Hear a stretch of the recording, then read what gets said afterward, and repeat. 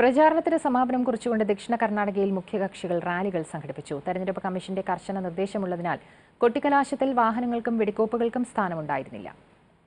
കഴിഞ്ഞ കാലങ്ങളിൽ കണ്ട ആവേശം പ്രചാരണങ്ങളുടെ ഒടുവിൽ കാണാമെന്ന് പ്രതീക്ഷിച്ചവർ നിരാശരായി. തെരഞ്ഞെടുപ്പ് കമ്മീഷന്റെ നിയന്ത്രണങ്ങൾ വോട്ടെടുപ്പിന്റെ ആവേശങ്ങളും ആരവങ്ങളും ഇല്ലാതാക്കിയെന്ന പരാതികളും ഉയരുന്നു. കേരളത്തിലെ പോലെയുള്ള കൊട്ടിക്കലാശത്തിന്റെ കാഴ്ചകൾ തേടി ഞങ്ങൾ ബാംഗ്ലൂരിലെ പല സ്ഥലങ്ങളിൽ നടന്നു. പക്ഷേ കൊടിയോ തോരണമോ ആരവങ്ങളോ പോസ്റ്ററുകളോ ഒന്നും തന്നെ ഇവിടെ എങ്ങും കണ്ടില്ല.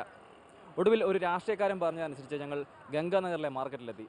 ഇവിടെ എത്തിയപ്പോഴും കാര്യങ്ങളൊക്കെ തദൈവ ക്യാമറയ്ക്ക് മുന്നിൽ വരാൻ മടിച്ച ആർ ടി നഗറിലെ ശിവ എന്ന യുവാവ് പറഞ്ഞത് രസകരമായ കാര്യമാണ്. പ്രമുഖ പാർട്ടികളുടെ റോഡ് ഷോകളിലും മറ്റു പരിപാടികളിലും പങ്കെടുക്കാൻ ഒരു ദിവസം നാനൂറ് മുതൽ അറുന്നൂറ് രൂപ വരെ ഒരാഴ്ചക്കിടയിൽ ആൾക്ക് കിട്ടിയത്രേ.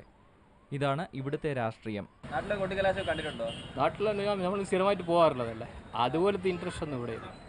ഇവിടെ ഒരു ലൈറ്റ് അത്രയേ ഉള്ളൂ. പലയിടങ്ങളിലും ജനജീവിതം സാധാരണ നിലയിലായിരുന്നു. എല്ലാവരും അവരവരുടെ ജോലികളിൽ വ്യാപൃതരായി. നമ്മുടെ നാട്ടിൽ തെരഞ്ഞെടുപ്പുകൾ കഴിഞ്ഞാലും എത്രയോ നാൾ ചുമരെഴുത്തുകൾ മത്സരത്തിന്റെ ചരിത്രം ഓർമ്മിപ്പിച്ചുണ്ടാകും. ഇവിടെ ഭിത്തികളെല്ലാം ഇതിനോടകം തന്നെ വെള്ള പൂശി കഴിഞ്ഞിരിക്കുന്നു. തോരണങ്ങളുടെയും പോസ്റ്ററുകളുടെയും എണ്ണം നോക്കി പണക്കൊഴുപ്പിലൂടെ പ്രമാണിത്വം തെളിയിക്കാൻ ഒരു സ്ഥാനാർത്ഥിക്കും കഴിയുന്നില്ല.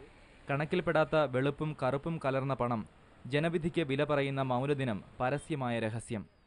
അങ്ങനെ ഒരു തെരഞ്ഞെടുപ്പ് പ്രചാരണങ്ങൾക്ക് കൂടെ അന്ത്യമാകുന്നു. സോണിയാഗാന്ധി പ്രസംഗിച്ച പാലസ് ഗ്രൗണ്ടിന് തൊട്ടടുത്തുള്ള സ്ഥലമാണിത്. സാധാരണ ഇവിടെ പോസ്റ്ററുകളുടെ ബഹളമായിരിക്കും. കുറേ പേർ പോസ്റ്ററുകൾ ഒട്ടിക്കാനുള്ള ശ്രമങ്ങൾ നടത്തിയിട്ടുമുണ്ട്. എല്ലാം വലിച്ചു കീറിക്കളഞ്ഞ് വൃത്തിയാക്കിയിരിക്കുന്നു. എന്തായാലും വലിയൊരു പ്രചാരണം കഴിഞ്ഞതിന്റെ ആലസ്യമൊന്നും നഗരത്തിനില്ല. ബംഗളൂരു അതിന്റെ വേഗത്തിൽ മുന്നോട്ട് നീങ്ങിക്കൊണ്ടേയിരിക്കുന്നു. മേഘരി സർക്കിളിൽ നിന്നും സുജിത് നായർ ഏഷ്യനെറ്റ് ന്യൂസ്.